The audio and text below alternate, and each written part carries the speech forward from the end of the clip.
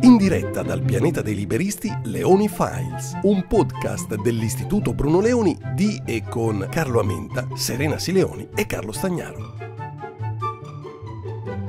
Allora, buongiorno a tutti cari amici, qui dai Leoni Files a parlarvi è Carlo Amenta. Credo ci siano con me sia Serena Sileoni che Carlo Stagnaro, ma ho un annuncio importante da fare e quindi sarò io ad aprire perché i due miei amici non sono più tali, che si sono uniti in una congiura contro di me e per i prossimi mesi probabilmente non sarò più con voi.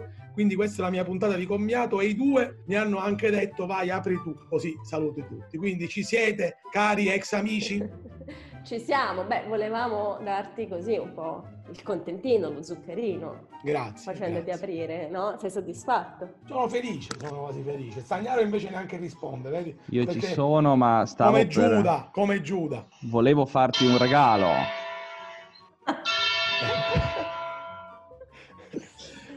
Buongiorno Carlo. E per chi suona la campana? Scusate, meno male che non mi guardano perché ho attaccato le mani nei posti, diciamo, innominabili. Però va bene così. Diciamo, la campana suona a morto e suona per me. Quindi diciamo, eh, tornerò prima o poi e sappiate quando tornerò, diciamo, non, non sarò gentile con voi. Comunque, è hai una- è voce diversa? avrò una voce diversa e forse anche un sesso Se diverso. fosse ma solo la voce il problema. Però va bene, insomma. Vabbè, comunque, allora, visto che abbiamo aperto con eh, diciamo, il problema, con problemi sanitari personali, io eh, vi invito a riflettere sul fatto che tra sud e nord, tra le tante differenze che ci sono, c'è anche quella della sanità e quindi io vorrei invitare tutti quelli del nord a venire al sud, tutti quelli del sud ad andare al nord e tutto fare questa ammuina, chi sta sotto va in coppa, chi sta al lato va dall'altro lato e fare come ha Sotto proposto la il leader. Ecco, Ma infatti io- campa. Io ho, ho un grosso dubbio. Cioè, dai, mio figlio ha appena cominciato le superiori, però insomma comincio a ragionare sull'università, no? E mi stavo interrogando a livello formativo, per me piacerebbe mandarlo a fare un'esperienza all'estero, un Erasmus, In una cosa del Calabria, genere. Calabria, io pensavo a Foggia. Calabria. Io Ecco, pensavo a Foggia. Foggia. Ecco, Però ecco, volevo Foggia. chiedervi se secondo voi può essere una buona idea Foggia o se magari appunto non sarebbe meglio Catanzaro Ah, io- o Potenza. Sì, che, ecco, sceglierei una meta più esotica, tipo Palermo, Catania, No, qualcosa di Catania, Catania no, Catania, Catania no. Catania è fuori, no, No, Catania però- no, è fuori da prendo- tutti gli Erasmus per pericolosità. Prendo le distanze dal tuo razzismo. No, no, no, no, Eh, un popolo no. che si va a mettere sotto un vulcano sono due, i catanesi e i napoletani, non è una cosa, diciamo, quindi adesso, adesso, quindi, comunque commentiamo così Però questa idea dell'Erasmus fatto tra nord e sud non è sbagliata in fondo. È discriminatoria. Sì, perché manca il Perché- centro. perché? È eh. discriminatoria, manca il centro. manca Beh il no, quelli di. Pisa vanno a Livorno, que- quelli di Livorno vanno a Siena, quindi... No, io devo, devo dire che la- l'ho In trovata effetti un'idea... si imparerebbero lingue nuove, eh? Ah, su questo non c'è dubbio. L'ho trovata un'idea piuttosto ridicola mh, per un paio di motivi. Il primo è quello che, insomma, in un mondo che è sempre più globalizzato, l'idea eh, che si possano forzare in qualche modo, invitare i ragazzi a conoscere città del proprio stesso paese, che fortunatamente, grazie alla globalizzazione, grazie al mercato, sono sempre più vicine perché gli aerei eh, sono a basso prezzo e oggi tutte le fasce della popolazione riescono fortunatamente a fare qualche viaggio ogni tanto. Non sono gli anni 50 quando uno del sud andava al nord a fare il militare e tornava quasi, diciamo, veramente esotico rispetto agli altri. E l'altra idea che mi sembra assurda è che in fondo il leader delle sardine ha detto perché uno del nord non può andare a studiare filosofia e archeologia a Napoli e uno del sud andare a studiare ingegneria a nord. Ora io insegno economia, la insegno male e faccio schifo, però quest'idea che al sud ci stanno i filosofi greci con la toga e al nord ci stanno gli ingegneri come Stagnaro, Beh, a me anche- sembra un po' anche perché- provinciale. Anche perché, caro Carlo, se, se vieni al nord con la toga prendi freddo. Io Eh, te lo per carità. Vabbè, ma fra un, po', fra un po' sto problema non ce l'avevo più a quanto pare e quindi posso pure venire a prendere fresco.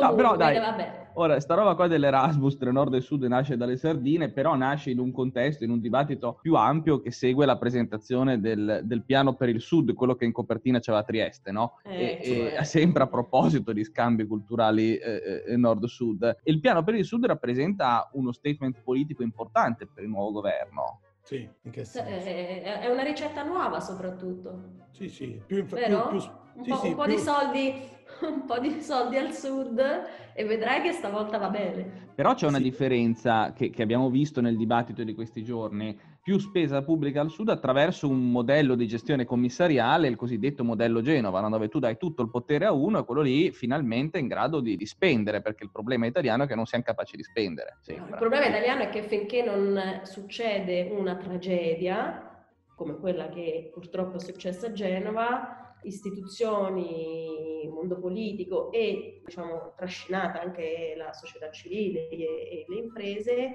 non si smuovono. Questo è il vero problema. Il modello sì. Genova ha funzionato perché c'è stata una terribile eh, tragedia di mezzo e quindi eh, damos da fa. e No, superiamo de- de- le- dem- demos è da fa. da voi sì. No. Beh, vedi, che, Eh, vedi che la Sileoni dovrebbe venire a fare Erasmus a Genova. No, ma infatti così le... Preferirei No, la Sicilia però. Preferirei utile, la no, Sicilia. No, ma, ma in realtà al di là de- delle pagine abbastanza, eh, diciamo, eh, fuffose su economia circolare e tant'altro che servirebbero al sud, a me quello che stupisce effettivamente è proprio quello che state dicendo voi. Cioè, credo che, diciamo, da mero osservatore delle cose del sud, il vero problema del sud, al di là negli ultimi anni certamente di una riduzione eh, delle risorse, ma certamente non se, se pa- solo paragonata a quelle degli anni precedenti, è legata alla capacità di spesa e all'efficienza, che non si ottiene con una gestione commissariale, a mio avviso, ma probabilmente andando a intaccare, a verificare quali sono i problemi fondamentali dei processi burocratici che sicuramente sono inefficienti e lo sono di più al sud che al nord. No, Quindi anzi, le- senza un attacco frontale a questo, io credo che le risorse purtroppo servono a ben poco. Anzi, il mito della gestione commissariale a me fa un po' ridere, nel senso che noi siamo un paese che tradizionalmente si è dotato di una burocrazia sovietica sotto cui tutti muoiono soffocati. Abbiamo improvvisamente scoperto che la burocrazia, che l'eccesso di burocrazia può essere un problema improvvisamente ci siamo spostati all'estremo opposto, cioè da Mosca a Pechino con Esatto. l'idea, con l'idea che allora dando a un autocrate ben intenzionato, onesto, a Genova per carità è andata bene probabilmente, però eh, non è un modello generalizzabile da questo punto di vista, chiamando un autocrate, dandogli potere discrezionale su tutto, affidamenti diretti, scelta per nome e cognome delle persone, deroga da tutte le norme extrapenali, eccetera, allora si risolveranno i problemi, perdendo di vista che in mezzo tra la burocrazia sovietica e l'autocrazia orientale c'è lo Stato di diritto, che è quello che grosso modo funziona in tutta la parte di mondo che, che si è maggiormente sviluppata. E in fondo che l'autocrazia non funzioni lo vediamo proprio in queste settimane in Cina, nella gestione di quella che è la loro emergenza, il loro ponte Morandi, per così dire, cioè le- l'esplosione del coronavirus, che pure... eh, Coronavirus, ar- coronavirus. Scusa, scusa, non, Coronavirus. non ho fatto Perché, l'Erasmus perché- a- a perché ha fatto l'Erasmus a Cambridge. Esatto. Esatto. Siamo io, eravamo io, Di Maio e, e Di Battista e, e- e- e parlavamo solo di virus, non Eh. coronavirus.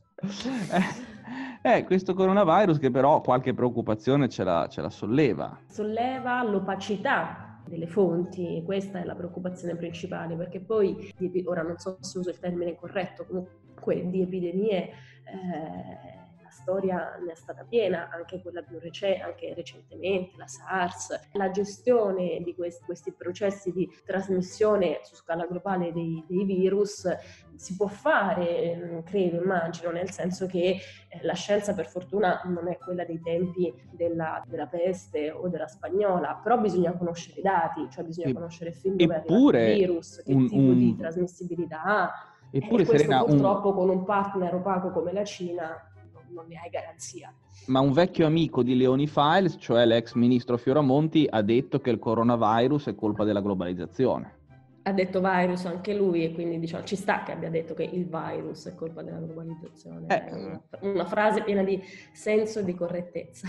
Sì, tra parentesi, tra parentesi, la storia, tra parentesi la storia gli dà ragione perché, ad esempio, eh, sentivo poco fa che la spagnola nel 1918 ehm, ha fatto più morti combinati della prima guerra mondiale e della seconda guerra mondiale e non credo che nel 1918 la mobilità e la globalizzazione fossero esattamente agli stessi livelli a cui sono oggi. Quindi Fioramonti si conferma un attento osservatore della realtà e credo Ma uno dei, che il uno dei cro delle motivi- minchiate sia orfano un consulente. Uno dei motivi per cui la demografia nel mondo è, è esplosa non è tanto perché facciamo, abbiamo fatto più figli nel, nell'ultimo secolo, è perché siamo morti in misura molto minore. Perché siamo morti in misura molto minore? Anche perché grazie alla scienza riusciamo a curarci e a vivere di più e soprattutto a evitare le morti dei, dei bambini piccolissimi. Quindi pensare che prima si campava a lungo e non esistevano epidemie, che invece appunto sono stata una delle, delle piaghe dei secoli scorsi, perché non esisteva la globalizzazione, è proprio una fandonia. Sai qual è un del problema? fatto che prima Vabbè, la globalizzazione vabbè, vabbè. esisteva, ma era una globalizzazione di armi e di eserciti. Scusate, vabbè, è una minchiata, chiamiamola col suo cognome. No, però sapete qual è il problema? Cioè, è vero quello che dice eh, Serena sul contributo della scienza e della tecnologia, ma da quando eh, anche la scienza e la tecnologia sono state asservite al capitale, tutto va a rotoli. Ecco, questo, è- la colpa è sempre del neoliberismo, esatto. Anche perché, diciamo, la soluzione, effettivamente, il miglioramento tecnologico dei farmaci è il fatto straordinario che tutti viviamo eh, fino ad un'età che non potevamo neanche immaginarci, almeno io fino a stamattina, non so come mi andrà oggi pomeriggio, magari verrò smentito immediatamente dai fatti, e, e effettivamente è merito di un sistema chiuso, vero Carlo e Serena, non di un Ma sì, in sistema effetti- ma in aperto effetti- e altamente competitivo. Ma in effetti sono sicura che Fioramonti guardi con ammirazione e tentativo di emulazione il sistema sanitario cubano, Sì, esatto. che in questi casi viene sempre evocato. Credo che Di Battista l'abbia anche eh, appunto mh, menzionato più di una volta come un sistema straordinario. Certo, un sistema forse migliore del sistema equadoregno, non so, però dobbiamo, dobbiamo guardare dove siamo noi, a che punto siamo noi, non se nei sistemi chiusi c'è persino qualche bravo medico. Ma No, sai, lo eh, hanno eh, scritto anche il ministro per il Mezzogiorno Provenzano e Emanuele Felice, che, che è da poco diventato responsabile economico del Partito Democratico, che è tutta colpa del neoliberismo. Tutto Ah, quello che pensavo va del male al mondo del è tutta colpa del Comunista. neoliberismo. Pensavo È il il Partito Comunista Ah, cinese scusa, e naturalmente cinese. nella logica di, di- di Felice Provenzano il Partito Comunista cinese è un'espressione del neoliberismo. Invece io a Ma proposito così di non, non te globalizzazione- frega niente. non- non- No, no, no, no, no, non me ne frega niente perché ho, ho deciso che a un certo punto io, diciamo, alle minchiate, sulle minchiate vado oltre. E di Dubai che mi dici? Di Dubai ho pochissimo da dire perché si gioca bene a golf. Ma invece Che io ti Felice volevo... e Provenzano scrivono che Dubai è anche un'espressione del neoliberismo. Ah, soprattutto la libertà. diciamo, E, di- di e Putin, individuale. anche Putin è Eh, neoliberista. Sì, sì, no, ma poi posti diciamo, dove effettivamente la libertà individuale è rispettata. Invece io no, tornare- facciamo, facciamo al contrario. Chi è che non, che non lo è? La Cina? Chi è che non è liberista? No, no, la Cina è neoliberista? la Cina è neoliberista, è il Cuba, capitalismo Cuba, senza diritti. Cuba, Cu- il grande Cuba- modello di sviluppo di Cuba. No. Cuba non No, è no, neoliberista, no. Eh. forse Sì, neanche il comunque, Venezuela. Eh, la Corea, la Corea de- I paesi scandinavi, modello, luce, faro di tutti i comunisti del mondo. Voi non lo capite. Io lo so perché uno- A me non dispiacciono i paesi scandinavi. No, vabbè, per o altri le lo vabbè. stagna- ecco, Eh, appunto. volevo fare No, una invece io, invece io vorrei riportarvi sul sentiero della serietà. So che non è il mio ruolo, anzi, diciamo questo non, non mi sta per niente. Niente, da quando vede la fine del tunnel lamenta queste cose Esatto, no, vorrei, vorrei lasciare un'eredità, diciamo, dice, sai, ha detto una cosa intelligente. No, invece io vorrei richiamarvi un attimo eh, sulla globalizzazione, sul coronavirus e sulla Cina, perché effettivamente al di là del fatto che le persone non debbano andare nel panico, perché comunque al di là dei dati che sicuramente non sono corretti, insomma in qualche modo eh, staremo a vedere se sarà così pericoloso come sembra o lo sarà di meno, però in realtà sicuramente è un pericolo per l'economia, perché eh, proprio la globalizzazione, proprio quelle che Carlo conosce meglio di me e che ci spiegherà essere le catene globali del valore integrate di produzione, creano una sorta di effetto a catena che da- da- davvero crea eh, un, un impatto negativo da- del coronavirus sul PIL mondiale. Ah sì, perché oggi l'economia mondiale è molto più interdipendente rispetto al passato. Questa è una delle ragioni per cui eh, a livello globale abbiamo sperimentato quella crescita eh, dell'economia, del PIL e del PIL pro capite eh, così impetuose che abbiamo visto negli ultimi decenni. Naturalmente l'altra faccia della medaglia è che essendo tutti un po' più dipendenti dagli altri, quando gli altri si comportano male ne sentiamo gli effetti e ci sono dei costi di aggiustamento. Infatti la domanda più interessante rispetto al coronavirus è se l'epidemia continuerà e quindi se eh, l'attività economica cinese continuerà a rimanere a, livelli molto bassi delle ultime settimane, in che modo eh, le imprese che hanno in Cina parte della loro catena produttiva, parte dei loro fornitori, eccetera, in che modo reagiranno e soprattutto se cercheranno un aggiustamento temporaneo contando in qualche maniera di ripristinare lo status quo il prima possibile, oppure se gli effetti degli aggiustamenti saranno permanenti, nel qual caso a farne le spese sarà soprattutto la Cina. Questo è un tema interessante perché vuol dire che chi danneggia gli altri finisce poi per subirne la maggior parte delle conseguenze di lungo termine e quindi potrebbe avere anche un incentivo a comportarsi meglio, ad aprirsi un po' di più anche a livello istituzionale, no Serena? In fondo la globalizzazione aiuta anche a essere un po' più simili nelle cose positive. Eh, speriamo, questo sarebbe nella, nella difficoltà del momento e anche nel dramma per, per, molte persone del momento sarebbe a, alla lunga un effetto positivo. Si impara purtroppo sempre dai propri errori. Se da uh, questi errori la Cina imparasse che eh, una maggior trasparenza, una maggior condivisione eh, della verità eh, dei fatti con, eh, con, gli altri stati beneficia in primo luogo lei stessa, tanto meglio. E quindi insomma direi che oggi un po' di riflessioni le abbiamo fatte e non nonostante possiamo, tutto. e nonostante tutto, non possiamo che concludere eh, tornando in Italia e pensando alle, alle, pinze che a Menta si troverà nella panza per fare una citazione colta tra qualche ora o tra qualche giorno. Allora io diciamo... Io sono questa... molto curiosa di sentire la nuova voce di Amenta, spero di non eh. avere brutte sorprese. No, allora ecco, con questa puntata testamento io vi saluto, ringrazio Carlo e Serena per avermi fatto fuori con, con mezzi. Ecco, assolutamente.